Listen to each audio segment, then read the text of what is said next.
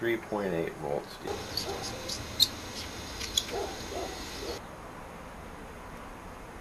Okay, that's not too bad.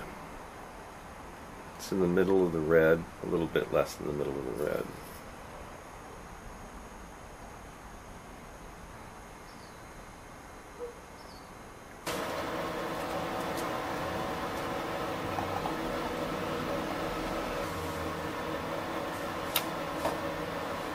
As you can see, this this battery shows it's got about a thousand cr cranking amps. the battery restoration, Chapter 1 Lead Acid Battery General Information. In the average lead acid car battery, golf cart battery, or variations like sealed batteries, the standard electrolyte solution is 35% sulfuric acid and 65% distilled water. My belief is the acid works on the lead in the plates and causes electricity to be released when demanded. When this release occurs, it leaves behind a sulfation layer. If the battery is charged up within a short period of time, this sulfation layer is converted back into acid by the electricity applied to the battery. So the common belief is that if you leave your lights on or drain your car battery, a soft sulfation layer is formed, and this can be restored by jumping the car and having the alternator charge up the battery and remove this sulfation layer. But if you leave the battery dead and discharged for a long period of time, like weeks or months, then a hard sulfation layer will form, and it is impossible to remove it by charging. Each cell in a lead acid battery that is full capacity will be slightly over 2.1 volts DC. So if you count the cells and it's 12 volt, it will be 6 cells. The battery voltage will drop as its capacity is used. Most of the starting problems in a car are because the battery posts are dirty and getting good getting a good connection will cause your car not to start.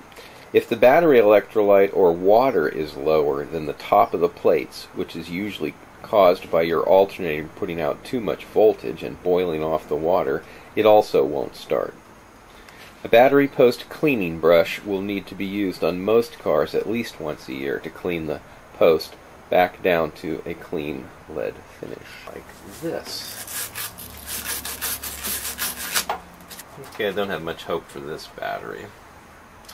Uh, let's measure the voltage first. And we're measuring the voltages 210, 2.1, right? Electrolyte's fairly clear, and it's not, the bulb isn't coming off the bottom.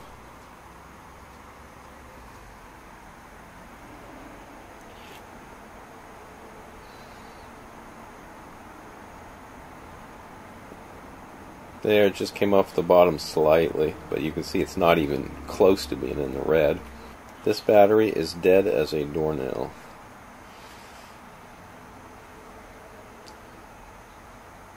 The electrolyte looks a little muddy here. Chapter 2 Battery Assessment and Testing. The first thing to do when testing a battery is to have a good voltmeter and hydrometer. The multimeters can be had for around $20 or a little more at Home Depot or $6 at Harbor Freight and will be very helpful when diagnosing electrical problems in cars and with alternating current in homes. The hydrometers are less than $10. The one you're looking at costs $6 at the auto parts place.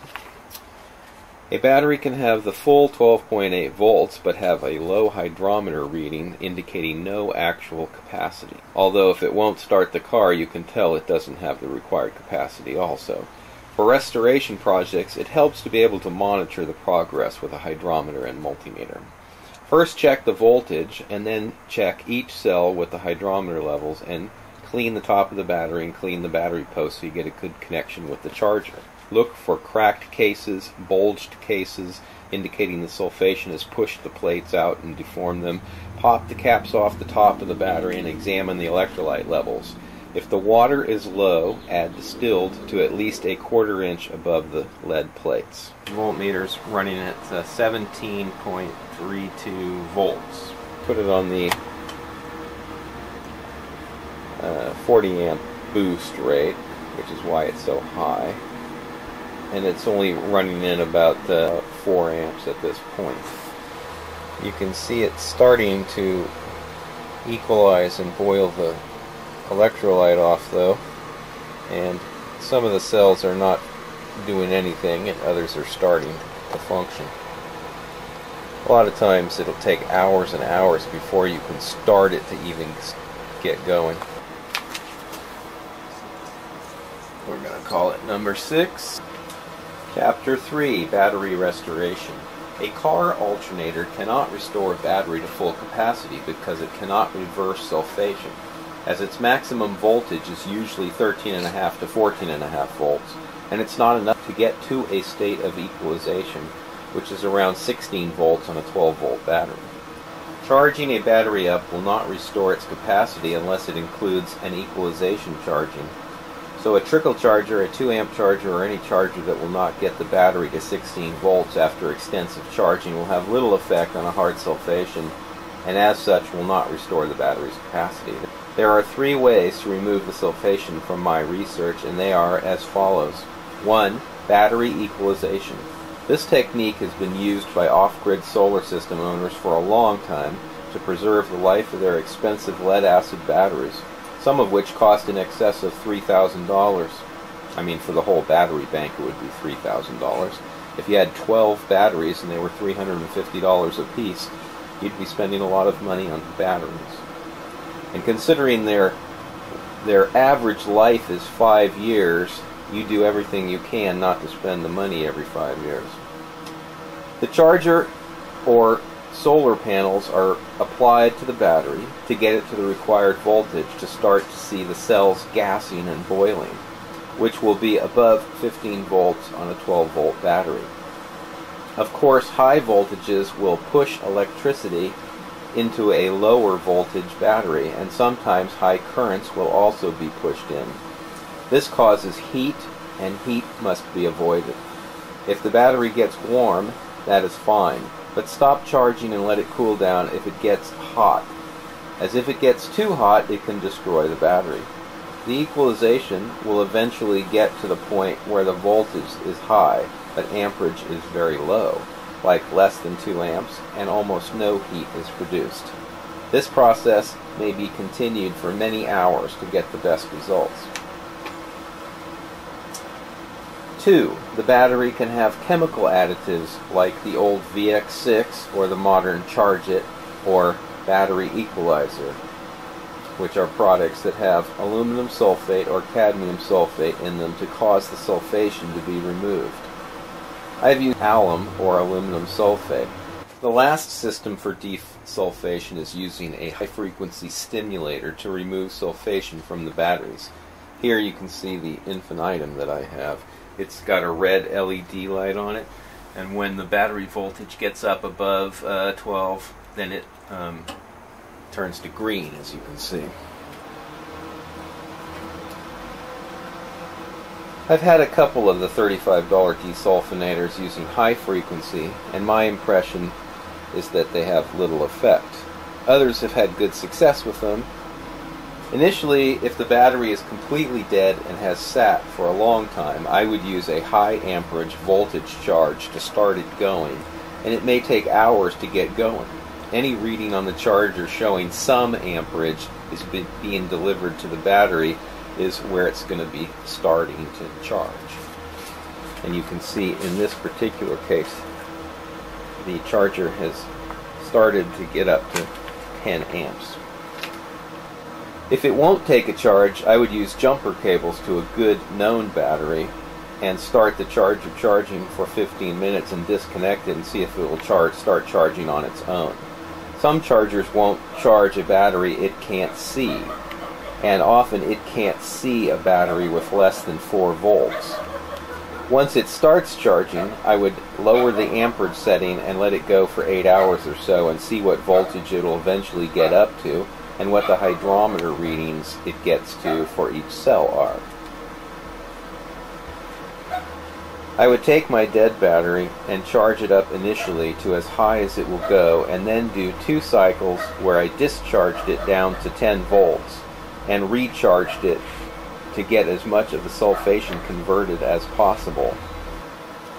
After it has been restored to its best possible state through the cycle, the voltage should get to around 12.8 volts, and the hydrometer should get to about 1250. And a testing on the on the car will show if its capacity is okay or not. I mean, you should be able to start the car easily. You can see the Harbor Freight's fairly accurate. They're both 1691 and 1697. Six here that was dead as a doornail is that it did not come back to life completely. As you can see, the voltage here is 12.99, which is almost 13. It's been sitting for several days and it hasn't come down less than that, so that's pretty good. But voltage doesn't mean everything. The um, hydrometer shows that the level's at just in the green, which is also pretty good. And it tests like that pretty much straight across. But we're going to show you what the uh, cold cranking amp draw is. Okay, here we have the cold cranking amp draw. As you can see, close to 13 volts, and when I put the draw on, it goes down to 200. Well, 200 is not going to start a car, ever. So it doesn't matter if the voltage is up at 13, you know, although it just took the surface charge off. But if it if it'll rest at 13, that doesn't mean anything. If the capacity isn't there, it's not going to start a car. You need about 600 to start the car. So this battery is not coming back. it's come back remarkably considering it had nothing to start with and it sat for years. It has come back remarkably in that regard. But it did not come back enough to be serviceable as a battery. Battery here was a is a from um, 04, uh, August of 2004. We're going to load test it, sitting in the pile for a bunch of years. It's running at uh, 12 point, looks like 3 volts, 4 volts, and when I put the tester on it, it's over 600 cold crank amps.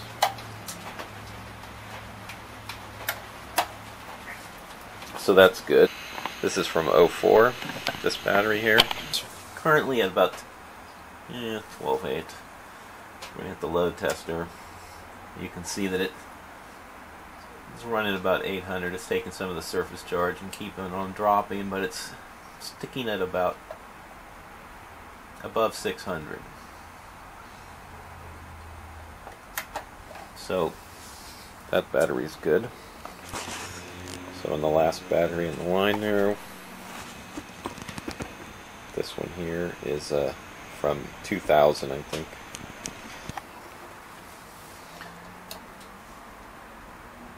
So you can see. It's like it's staying up at well it's dropping a little bit but it's around 600 this is enough to start the car. Okay and the interstate on the end number four there. Load test it. It's dropping dropping. It's just taking some of the surface charge off. But you see it has settled out and it is still staying at about 900 cold cranking amps. So plenty of juice in that battery. All four of these batteries were restored from a junk pile where they'd been sitting for three to five years and they're all around uh, 2000, 2002, 2004. They're old batteries that started out life at like three or four volts and anywhere from no hydrometer reading to um, low in the red.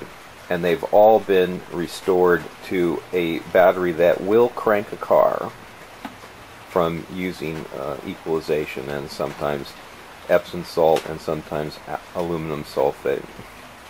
So it's not impossible to take a battery that has a hard sulfation on it and have it come back to life. Those batteries did not revive.